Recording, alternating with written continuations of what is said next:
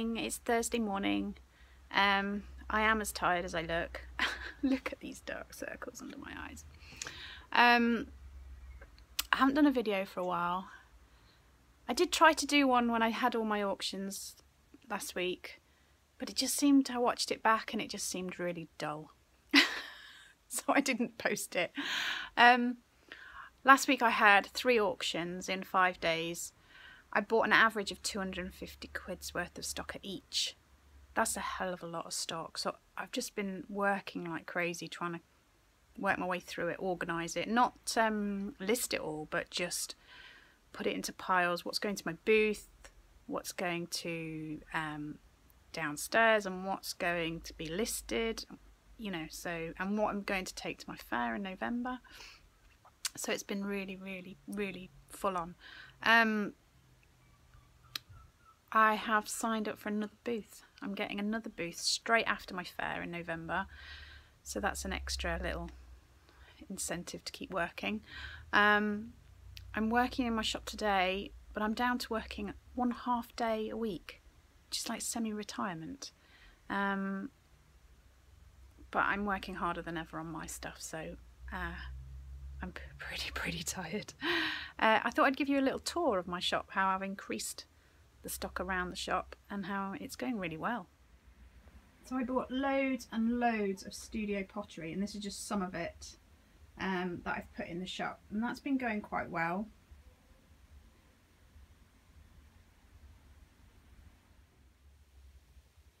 So I've got loads of these little cottages, I've got some African carvings. A few weeks ago I got a load of teapots, don't particularly like them but we'll see, somebody might. Um, all sorts of china, some nice sort of oriental stuff. Tea. I got loads of this Japanese stuff, Chinese stuff, I don't know it, which one it is, recently. Loads of commemorative teacups and things.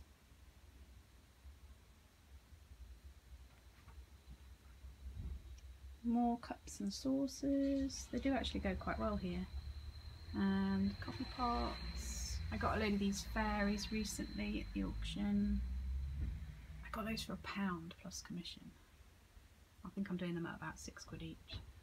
Some Denby chevron ware, Indian tree, uh, some glass fish and these lovely. These still haven't sold. I'm really surprised although the staff could have put them the right way around. Lovely parrots are sort of art deco plates. Some Adams. I forgot what that's called. It's awful. I should know.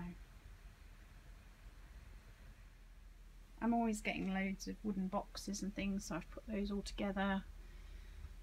Always look nice. Some glassware and some more stuff Still haven't sold all these comics. I need to do something with those.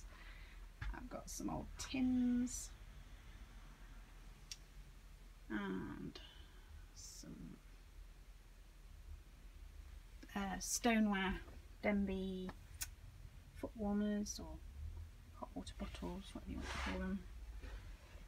And on this side, some old books, bits and bobs. So this is all the stock that's in the window. Obviously it's both sides. Can't show you the outside because it'll just glare against the glass.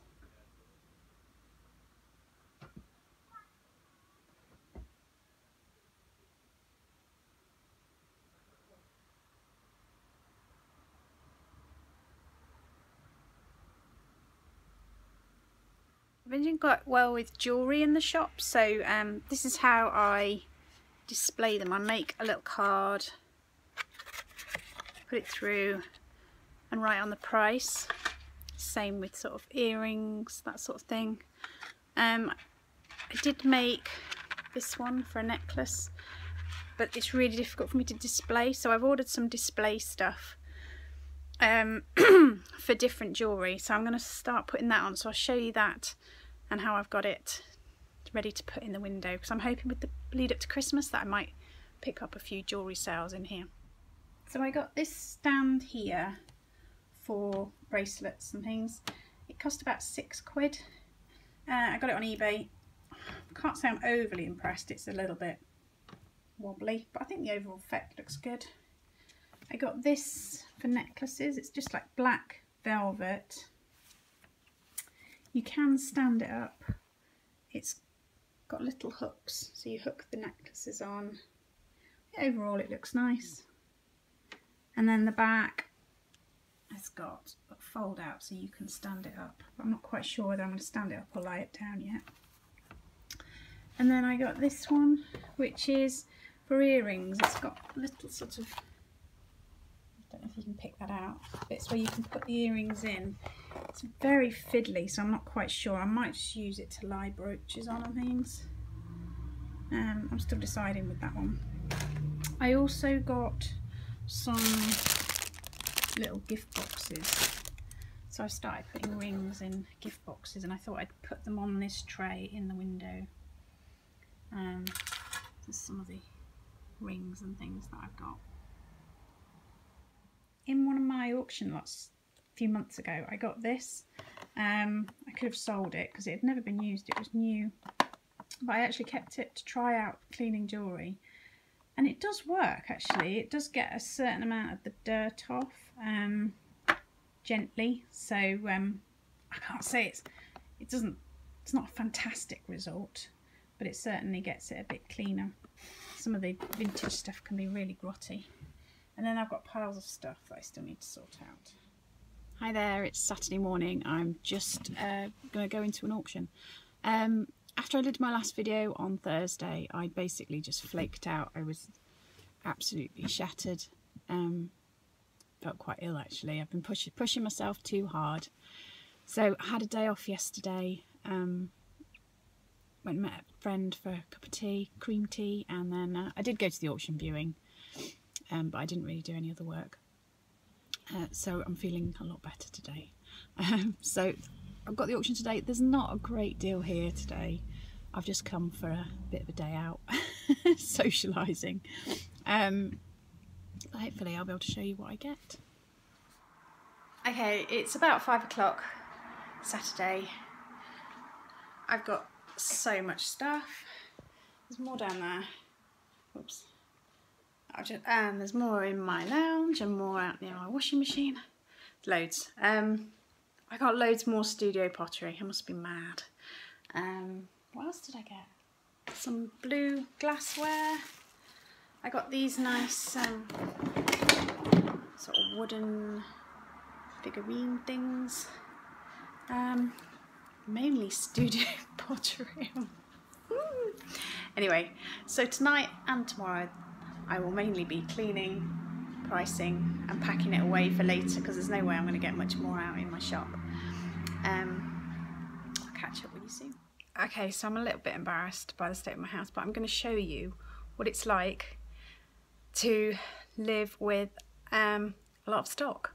Um, I'll show you around my lounge. Okay, so there's a table that uh, I will be selling at some point and jewellery that I'm in the middle of sorting.